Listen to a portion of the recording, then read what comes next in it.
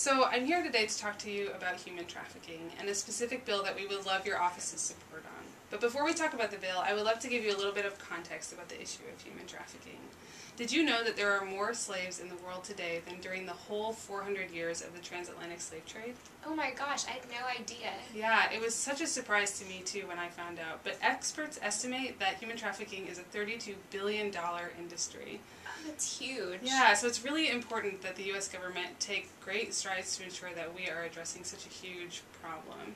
Uh, and the State Department is already working to combat human trafficking through the Trafficking in Persons Office, which is part of the State Department.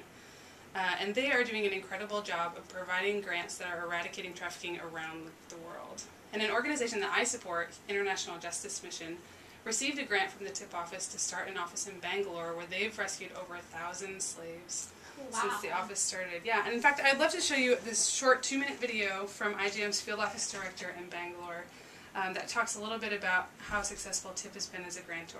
Okay, cool, great.